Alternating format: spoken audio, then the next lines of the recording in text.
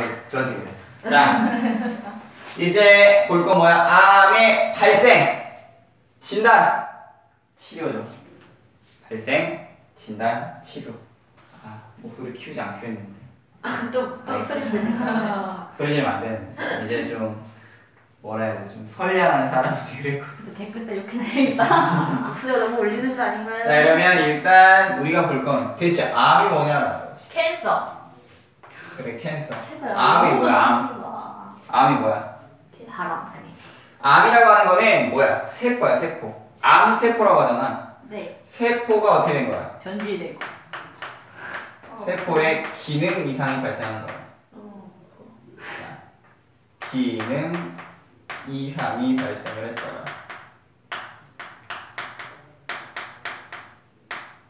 세포가 기능 이상이 발생하는 게 그게 이제 암이야.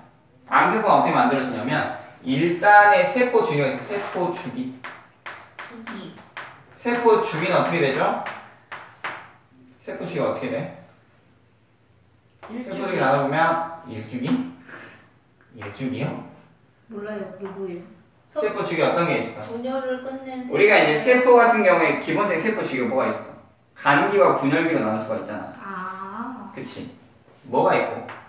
자, 분열기가 있고. 그 분열기는 이제 M기라고 하죠. 게 있었어. 두 번째가 감기인가? 그 다음 여기 나머지가 뭐야? 간기인데, 간기 중에서도 이제 뭐가 있어? 중기. G원기, 지원기. G원기. 그리고 또 뭐 있어? 지투기. S기. 아, 그리고 뭐 있어? 지투기. G2기가 있죠. 그래서 G원기에는 주로 뭘 해? 세포 생장, 기억이 안 나. 안 나와 있는데. 세포 생장과 뭘 합니까? 물질 합성을 하죠. 어디서 했냐고요? 3단에서 했습니다. 2학년이요? 저 하나도 모르네. 거기 3단에서 했죠. 아 진짜요? 네. 처음 보는 걸요? 세포 생장 및 물질 합성을 완전 하죠. 그건가? 아. 유전 파트에서 했잖아요. 했다가 세포 분열. 근데 지원기 S기 쌤이 그냥 쓰기 싫어서 써주신 거야. 다 해줬잖아. 영상 볼래요? 내기할까요? 내기하랍니까? 아. 5천 원이거든, 5천 원. 도스를 잃어버렸는데. 자, S기는 뭐예요? DNA 복제를 하죠. G축엔 뭐해? 세포 분열을 준비합니다. 어. 뭐 방수를 형성하는데 하는 그런 일련의 과정들을 하게 되지. 그러니까 이게 일반적인 세포 주기란 말이야. 근데 암세포는 이 세포 주기가 망가지게 됩니다.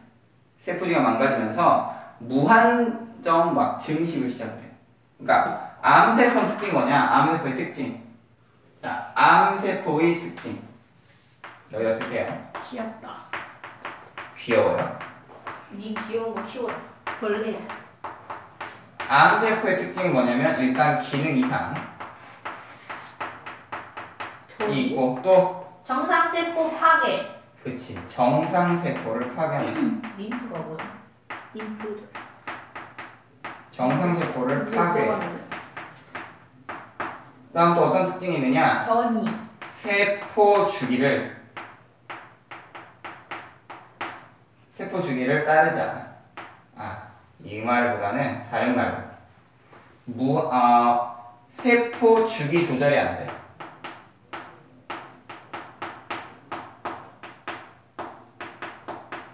세포 주기가 조절이 되지 않아요. 그러니까 일반적인 세포 같은 경우는 어떻게 되냐면 분열을 하기 위해서는 분열을 촉진하는 물질이 일단 있어야 되고요. 그 다음에 한 층을 형성을 하게 되면 더 이상 분열하지 않아. 일반 세포는. 하지만 암세포는 세포 주기가 조절이 안 돼. 그러니까 무한정 증식을 합니다. 계속 뭐 한다? 증식. 증식을 하게 돼요. 그리고 또 뭐가 있느냐? 전이가 됩니다. 그러니까 암세포라고 하는 다른 이름은 뭐, 뭐가 되냐면 악성 종양이라고 하는데 종양이 뭐예요? 뭐난 거요? 종양이라고 하는 게 이제 부풀어 올라서 이제 세포들이 볼록 튀어나오는 걸 종양이라고 그래. 종양이 이제 두 가지가 있어. 양성 종양이고 악성 종양인데 양성 종양 같은 경우는 증식 속도가 좀 느리고요. 그다음에 몸에 그렇게 큰 피해를 입히지 않아. 일단 전이가 또 안 되거든. 그러니까 일반적으로 양성 종양 하나 생각해보면 티눈 같은 거 있잖아요. 티눈 같은 게 우리 몸에 그렇게 크게 해를 끼치진 않죠. 아 그것도 종양이에요? 음, 일종의 종양이죠. 몸 밖에 나가는 종양의 일종이라고 보시면 돼요. 근데 악성 종양 이거는 기능 이상도 있을 뿐더러 정상세포 파괴하고 세포주기 조절하는 데 계속 증식한단 말이야. 전이부세. 그러니까 우리 몸에 되게 좋지 않은 거지. 이게 뭐다? 암. 이게 바로 암이다. 이게 암세포다. 남자랑 뭐 못해. 알겠습니까? 뭘? 제가 암이래요. 그러니까 우리가 뭐 이제 암이라고 하는 건 대체로 이제 우리가 안 좋은 의미로 많이 쓰이잖아요. 안 좋은 의미로 많이 쓰이죠. 그러면 왜 이제 이 암세포는 이렇게 무한정 계속 증식할 수가 있느냐? 그거는 암세포가 어떤 특징을 가지기 때문이냐면 예를 들어 어떤 곳에 암세포가 생겨요. 어떤 곳에 이제 암세포가 생긴다고 합시다. 암세포가 왜 이렇게 계속 증식할 수 있냐면 어떤 특정 위치에 예를 들어서 암세포를 파랑이라고 해볼게요. 파랑이 암세포가 생겼다고 칩시다. 얘가 암세포야. 그러면 일단 주변에 혈관이 지나갈 거 아니야? 혈관. 얘가 혈관이에요. 혈관이 지나갈 때 암세포가 어떻게 하냐면 자기 쪽으로 혈관을 돌게 만들어버립니다. 자기 쪽으로 혈관을 돌게 만들어. 그러면 이제 어떻게 해? 여기서 뭘 공급받아? 영양분 그러니까 산소와 영양분이 공급을 받게 되죠. 이거를 에너지 삼아서 이제 뭐 하는 거야? 증식을 하게 되는 거지. 근데 암세포가 양이 늘어날 거 아니야?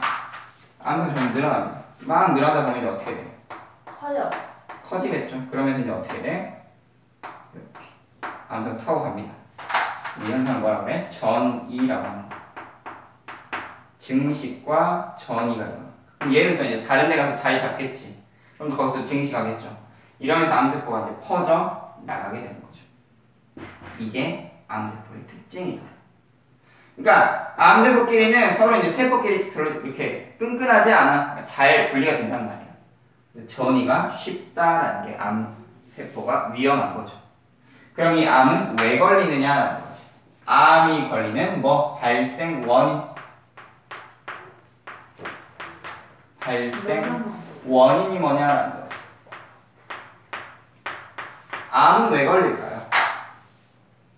원인은 크게 이제 두 가지로 우리가 구별해 볼 수 있습니다. 하나는 유전적인 요인이고요.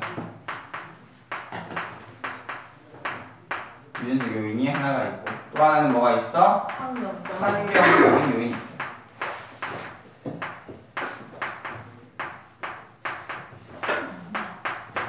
자, 유전적 요인에 어떤 게 있느냐? 가족력이에요, 가족력. 가족력이라고 하는 건 뭐냐면 유전자 자체에 암세포가 걸릴 확률이 들어있는 거지. 여러분 DNA 속에 암세포를 유발하는 그런 유전자가 들어있으면 암에 걸리기 쉬운 거죠. 그리고 가족들이 암에 좀 잘 걸렸으면 나도 암에 걸리기 쉬운 거지. 안젤리나 졸리 있잖아. 안젤리나 졸리 맞나요? 유방 유방 절제 수술한 거? 유방 잘랐어. 왜 잘랐을까? 안 걸려서. 걸렸다는 게 아니라 예방 차원에서. 가족들이 유방암에 잘 걸렸거든. 그래서 미리 잘라봐. 유방 안 걸리고. 거기에 대해서 미리 자를 굳이 미리 자를 필요가 있었느냐라는 거랑 예방 차원에서는 하는 것도 필요하다라고 하는 입장이죠. 첨예하게 대립했던 게 이제 그런 거죠. 그다음 환경적 요인은 뭐가 있느냐 여러 가지가 있는데 뭐 오염물질 오염물질에 의해서 암에 걸린다거나 혹은 자외선 자외선에 의해서는 이제 암 걸릴 수 있죠. 어떤 암? 피부암 같은 경우는 여기 걸릴 수가 있고 또 어떤 게 있어요? 세균 바이러스 심지어 스트레스에 의해서 암에 걸릴 수 있죠. 이러한 다양한 요인들이 있습니다. 특히 이제 오염물질, 발암물질, 뭐 타르나 이런 것들이 몸에 들어가면 정상세포를 암세포로 변이를 잘 일으킬 수가 있고 자외선 같은 경우는 피부암, 세균 같은 경우는 이제 뭐 헬리코박터 파일로리균 위암 만드는 거 이런 거라던가 바이러스 같은 경우는 그 자궁경부암 일으키는 이게 이름이 뭐였더라 유두 근종 바이러스였나? 유두근종 바이러스 뭐 거. 스트레스가 또 이제 만병의 원인이라고 스트레스 받지 마라 보통 이런 얘기 하잖아요 스트레스 받아서 안 걸린다는 거. 음 그래서 우리가 아 정말 괴로워 안 걸릴 것 같아 라고 얘기를 하는 게 스트레스 받아 음, 진짜 안 걸릴 수도 있어 과학적인 사람이네요. 어, 과학적이라고. 그러니까 약간은 이제 그런 거지. 플라시보 효과라는 거는 이제 좀 긍정적인 효과잖아요. 약을 먹었을 때 여기 대해서 내가 나을 거야라고 생각을 하면 낫게 되는데 이건 좀 마이너스적인 요소가 좀 강하지. 그런 것들이 있더라. 그다음에 이제 암이 어떻게 됐어? 발생을 했어. 발생을 해도 우리 몸이 어떻게 돼요? 아파요. 위험하죠. 위험하죠. 특히 이제 암세포 같은 경우는 특징이 뭐냐면 얘가 뭐가 안 되냐면 자살을 안 해. 일반적으로 정상세포가 기능 이상이 생기잖아요. 그러면 세포 자체적으로 자살을 합니다. 나는 죽겠어. 라고 해서 스스로 이제 목숨을 끊어버려, 세포가. 그래서 분해가 돼버리거든요. 근데 암세포는 그딴 거 없어. 내가 이 상황 있으면 어쩔 건데. 이제 증식을 하니까 문제인 거야. 발생을 하죠. 그럼 이제 어떻게 하겠어요? 암이 이미 발생을 했어. 그럼 이제 어떻게 해야 돼? 치료해야죠. 일단 발생했는지 안 했는지 뭐부터 해야 돼? 검- 진단부터 해야지. 검사를 통해서 진단을 해야죠. 이제 암의 진단. 진단은 어떻게 할 거냐? 암을 진단할 수 있는 방법이 여러 가지가 있습니다. 어떻게 하면 돼? 아까 암에 걸린 것 같아. 그럼 어떻게 하면 돼? 일단 배부터 자르면 되죠. 배를 그어. T 암에 걸린 것 같아. 그럼 일단 개복부터 하면 되죠. 안 돼요. 뚫으면 돼, 안 돼? 안 돼요. 안 되죠. 어떻게 해야 돼? PET 그래 일단 뭐도 있고 PET 검사가 있죠 PET 검사 근데 이거 하면은 암인지 알 수 있고 근데 비싸잖아 또 어떤 방법이 있을까 암에 걸렸을 것 같은 그 위치 그 기관에 뭘 하면 돼 조직 검사를 거야.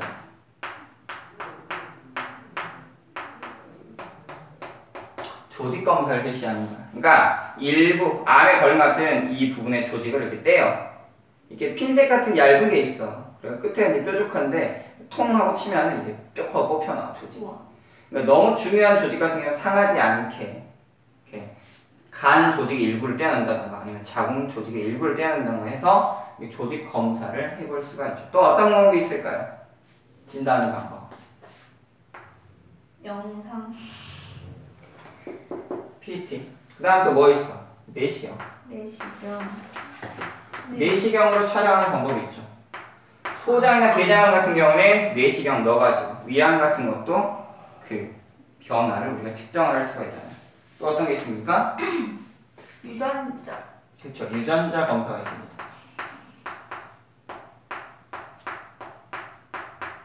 유전자 검사가 있어요. 유전자 검사를 하게 되면은 이제 유전적으로 이제 암에 걸릴 수 위험이 있는 이제 이런 것들을 측정할 수가 있죠. 암세포 같은 유전적으로 이제 좀 불안정하거든요. 일반적인 정상세포에 비해서 불안정하기 때문에 이런 걸 할 수 있고 또 뭐가 있어? 종양 표시자라는 게 있어. 영양 표준 종양 표시자 검사. 라고 하는 건 뭐냐면, 종양 표시자가 뭐냐, 일정 이제 꼬리표 같은 게 붙어 있는 그런 물질이 있어요. 이걸 이제 우리가 먹잖아. 그러면 이제 그게 암세포 쪽으로 달라붙어. 어쩌면 이제 일종의 PET 검사랑 좀 비슷한 거라고 보시면 돼요. 여기는 아까 이제 뭐가 양전자에 의해서 이제 포도당 물질, 방사능 물질이 몰렸잖아. 아, 종양 표시자 같은 게 일종의 PET 검사라고 보시면 돼요. 몰리기 때문에 이걸 이제 어떻게 영상 강측 찍어보면 이제 나타나게 되는 거지. 표지자랑 표시자랑 똑같은 거예요? 표지잖아, 표시자. 표지. 표지나, 표시나. 음. 알아서 표지자 해줄게. 표지자. 됐죠? 네. 이제 이러한 것들이 있더라. 그 다음에 영상 장치 중에서도 이제 내시경 있잖아요. 이제 이 내시경 같은 경우는 뭘 써서? 복강경 씁니다. 복강경. 건경 복강경을 쓸 때가 있어요. 복강경은 뭐냐면 배에다 구멍을 뚫어. 여기는 이제 내시경을 뚫는 거죠. 뒤에다 이렇게. 복강경 또 동시에 실시합니다. 알겠죠? 그 다음에 CT나 MRI나 PET나 이런 영상 장치를 이용해서 검사할 수 있겠다 라는 거. 진단을 했어. 진단을 했죠. 진단을 선고 받아요. 아, 어, 어 드디어 암 걸렸네요. 암 몇 기입니다. 마음을 준비하셔야겠네요. 라고 이제 할 수가 있잖아요. 음. 근데 이런 경우에 이제 그러면 그 다음 뭘 해야 돼? 치료해야죠. 뭘 해요? 치료를 해야겠죠. 솔직히 이제 원인을 아는 것도 중요하고 진단을 하는 것도 중요해. 하지만 우리가 암을 원인을 알고 진단하는 이유는 뭐 하기 위해서? 결국에는 치료를 하기 위해서 우리가 이 암에 대해서 알아야 되는 거잖아요. 근데 제일 중요한 건 뭐야? 깔끔하게 치료를 하는 거지. 암의 치료 방법. 암의 치료는 그럼 어떻게 할 거냐? 이게 제일 중요하죠. 물론 원인을 알고 미리 예방하는 중요하지만 이미 걸리면 어떻게 하겠어? 치료라도 잘 해야지. 그쵸? 줄이 안 맞아. 그. 그치. 이게 제일 중요하다고 치료가 줄이 안 맞아 한번 써봤어요. 약간 이게 좀 배경한 느낌이 들어가지고 이게 비춰서 보면은 선이 이렇게 보이거든 살짝. 자 그럼 치료하는 방법 여러 가지가 있는데 첫 번째 방법은 뭐가 있습니까? 어, 제일 좋은 방법. 제거. 수술, 수술. 그치. 일단 수술을 통한 수술을 통한 제거 방법이 있어요. 치료 첫 번째 방법은 바로 수술을 통해서 제거를 하는 방법이에요. 수술 통해 제거한다라고 하는 건 뭐냐면 직접 암 세포가 있는 부위를 어떻게 하는 거야? 잘라. 절단하고 제거하는 방법이죠. 가장 뭐한 방법이에요. 가장 손쉬운 방법입니다. 그러니까 의심 가는 부위 있으면 이제 확실히 암에 걸렸다라고 그 부분 잘라내면 되지. 간암에 걸렸어 그럼 어떻게 하면 돼? 암 걸린 부분 잘라내면 돼요. 그럼 이제 나머지 부분은 깨끗하니까 두면 되겠지. 근데 수술 통해 제거를 하게 되면 문제점이 하나가 있어요. 문제점이 하나가 있어. 이건 수술을 하려면 암수가 때 눈에 보여야 돼, 안 보여야 돼? 보여야 돼. 보여야 되죠. 이거는 전이 된 암에는 못해. 암에는 사용을 못해. 왜냐면 여기에 퍼져 있거든. 조금씩 퍼진 암 같은 경우는 이걸 제거할 수가 없어. 한 군데 암세포가 물렸을 경우에는 바로 제거할 수 있죠. 그러니까 1기나 2기 아직 전이 되기 전에 바로 잘라낼 수 있는 방법 으로 가장 이제 유용한 거죠. 또 어떤 게 있냐면 재발 위험성이 있어.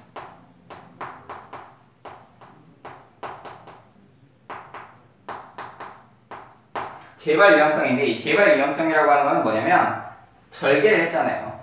절개한 이 나이 그러니까 메스 이런 거에 혹시나 암세포가 묻었을 경우에 꿰매거나 이렇게 했을 하면 어떻게 돼? 거기 묻어버리는 거야. 실수로 묻어버리면 거기서 암이 발생을 하겠죠. 그리고 절개를 했으니까 회복하는 동안에 여기가 이제 세포가 복구가 될 거 아니야. 복구가 되는 동안 내 몸에 암세포가 만들어졌다라고 하는 거는 또다시 암세포가 만들어질 위험성이 있거든. 그러니까 회복을 하는 동안에 암세포가 생성이 돼가지고 암이 재발할 우려가 있습니다. 그러니까 가장 간단한 방법이면서도 약간의 좀 위험성이 따르는 이러한 방법이기도 해요. 자, 두 번째는 어떤 방법이 있느냐? 어떤 방법이 있을까? 방사선. 음, 방사선 치료가 있어요. 방사선 치료가 있습니다. 방사선 치료. 방사선 치료는 뭐냐? 어떤 걸 이용해서? 감마선을 이용해서. 감마선을 어디에 째죠? 부위. 암세포를 암세포를 공격을 하는 거야. 감마선을 이용해서. 그럼 이제 암세포를 태워 죽인다라고 생각하시면 돼요. 이게 감마선을 받으면 워낙 고에너지이기 때문에 이게 암세포가 죽어버려요. 근데 감마선을 쓰게 되면 방사선을 쓰게 되면 문제가 뭐냐면 문제가 뭐냐면. 일단 몸이 몸에 부담이 갑니다. 우리 백혈병 걸리면 어때? 일단 머리부터 밀죠. 왜? 방사를 찌다 보면은 머리부터 다 뽑혀 나가버리거든. 몸에 그만큼 부담이 된다라는 거. 그리고 또 어떤 게 있느냐? 정상 세포가 위험해. 정상세포가 위험해. 이 얘기는 뭐냐면 감마선이라고 하는 건 암세포를 공격하는 세포, 공격하는 그런 전자기 파예요. 빛이죠. 근데 정상세포가 이걸 맞을 경우에 부담, 그러니까 세포에 이런 이상적인 변이들이 일어날 수가 있어. 그러니까 자외선을 많이 쬐면 안 걸리죠. 피부안 걸리잖아. 자외선보다 더 강력한 빛이 감마선이야. 그러면 이 조직에 이상을 일으킬 수가 있더라라는 거지. 그러니까 정상세포가 암세포로 변할 수 있는 그러한 위험성이 또 따르게 되더라라고 하는 게 뭐다? 방사선 치료입니다. 그러니까 일종의 뭐야? 몸에 부담이 되고 정상세포 위험하다는 거. 일종의 부작용이 나타날 수가 있다는 거지. 그쵸? 부작용의 위험성이 있더라라고 하는 게 방사선 치료입니다. 알겠죠? 자, 그런 방법이고요. 그 다음에 세 번째 방법은 뭐가 있어? 화학 요법이 있어.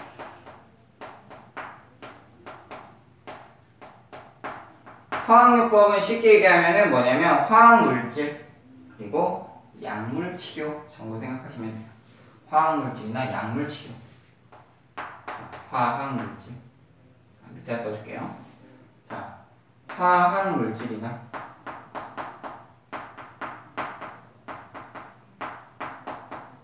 약물로 예, 약물을 가지고 치료를 하는 건데 여러분이 이제 안 배우긴 했지만 요 앞에 내용이 뭐가 있냐면 어 그 우리 약품 첨단 의료 약품들이 있어요. 약품 의약품 파트가 있는데 의약품 파트 중에 이제 뭐가 있냐면 어 탁솔이라고 주목나무에 나오는 그런 물질이 있어요. 이 탁솔이 뭐냐면 항암제야, 항암제. 항암제. 그래가지고 이걸 먹으면 암을 이겨낼 수 있습니다. 또 우리 뭐 마늘에 보면 알리신 있잖아, 알리신. 이게 항염 효과가 있단 말이야. 염증을 억제해주는 이런 효과가 있거든요. 여러 물질들 속에 이제 항암 효과가 있는 여러 물질들이 있죠. 음, 이 물질은 뭐 항암 효과가 있다더라. 김치 먹으면 항암 효과가 있다더라. 뭐 이런 얘기 있잖아요. 여기 이제 들어있는 화학 물질들이 암을 이제 치료를 해주게 되는 거지. 그러니까 우리가 암 걸리면 약을 먹어요. 약을 먹는데 이 약 같은 경우는 굉장히 독한 약들이 많이 들어있어. 암세포를 죽이기 위한 약인데 그러면 우리 정상세포에도 많이 부담이 되겠지. 이 황해포 이것도 마찬가지로 몸에 부담이 좀 갈 수가 있습니다. 몸에 좀 부담을 줄 수 있다는 게 단점이지만 그리고 또 이 화학물질 같은 경우는 암세포만 공격을 하는 게 아니라 모두 공격할 수 있어 정상세포도 똑같이 공격을 할 수가 있더라라는 겁니다.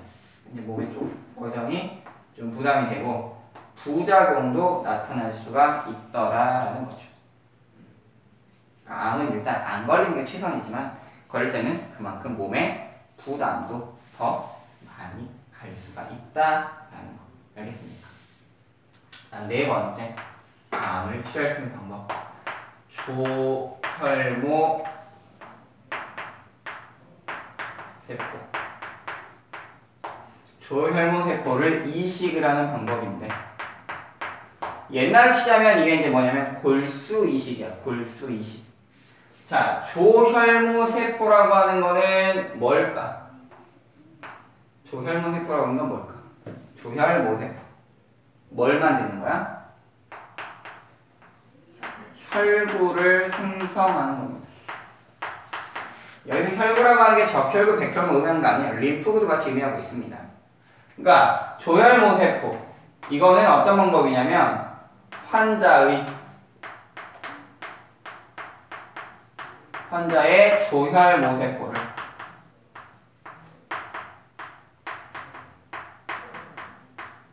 제거하고 제거 후 정상 조혈 모 세포를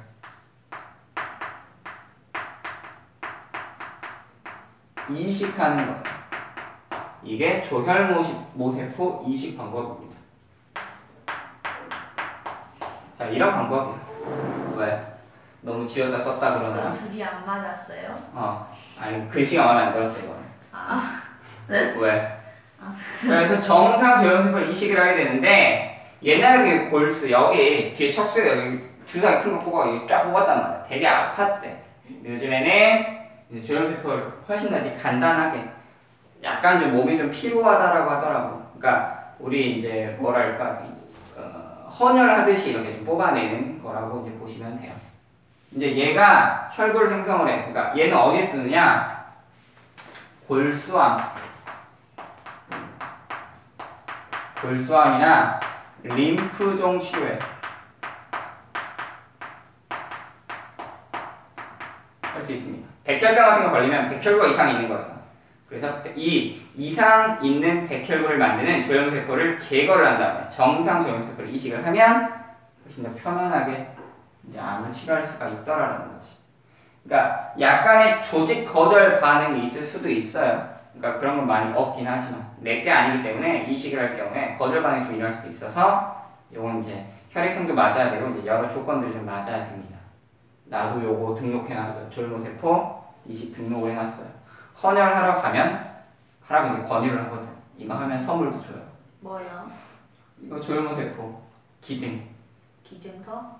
어, 기증을 하게 되면 뭐 이렇게 매달 뭐 이렇게 1년에 한 번씩 뭐 달력도 보내주고 하더라고. 괜찮은 것 같아. 근데 이제 한 번도 기증을 해보진 않았어요. 이제 이거 하면은 좋은 게 뭐냐면 이게 기증을 하잖아. 그러면 병원비나 이런 일체는 전부 다 환자 쪽에서 다 부담을 해줘요.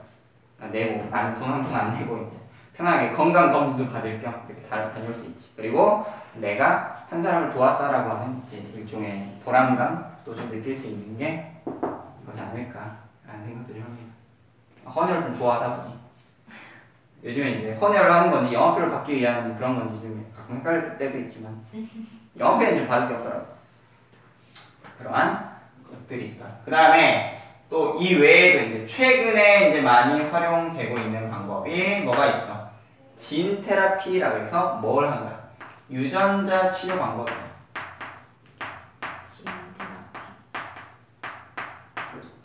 자, 유전자 치료라고 하는 거는 어떤 방법인가요? 자, 유전자 치료는 어떤 거야? 어디에다가? 유전체 음. 뭔 소리야? 운반체. 운반체. 진짜 뭐라고? 여기다 보통 쓰는 운반체는 보통 뭐 쓰냐면 바이러스입니다. 바이러스. 바이러스. 운반체에 뭘 실어서? 치사 유전자. 음, 치사 유전자를. 자살기도.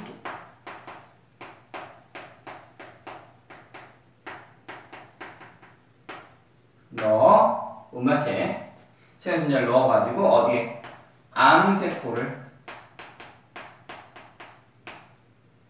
암세포에 삽입 도입하는 방법입니다. 이제 그럼 암세포가 어떻게 돼? 암세포라고 하는 건 자살 유전자가 없, 없어진 거야. 그러니까 자살을 안 해. 그럴 때는 이걸 넣게 되면 이제 암세포 스스로 사멸해 주는 거지. 그러니까 뭐만 인식, 인식시킬 수 있으면 암세포만 인식할 수 거야. 암세포는 인식을 시키면 돼요.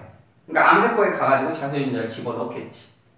그러니까 암세포 특정의 이런 단백질 구조라든가 이런 게 있어요.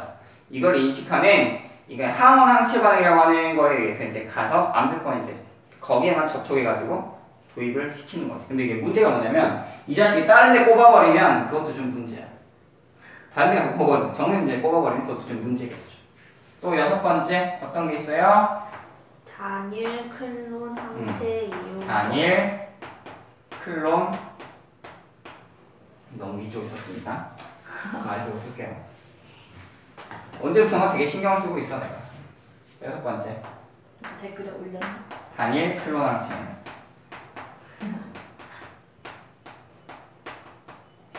단일 클론 항체라고 하는 건데 이거는 뭐냐면 항체제 항체. 그러니까 이건 뭘 이용해서 항원 항체 반응을 이용한 거죠. 항원 항체 반응을 이용.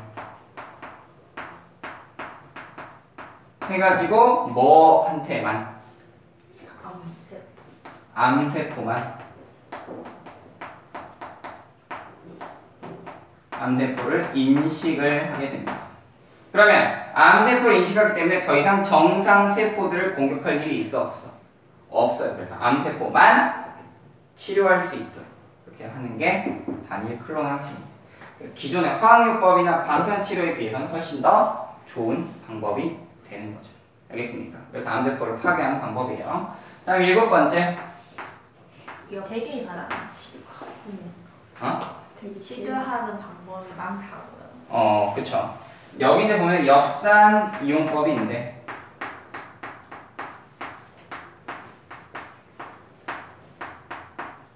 엽산 이용법도 쓰이는구나. 자, 얘 같은 경우는 이제 뭐예요? 직접 전달을 하는 거지. 직접 전달. 어디에? 암세포에 직접 전달합니다. 뭘 이용을 해서? 이것도 역시 뭘 이용해? 항원 항체 반응을 이용해요.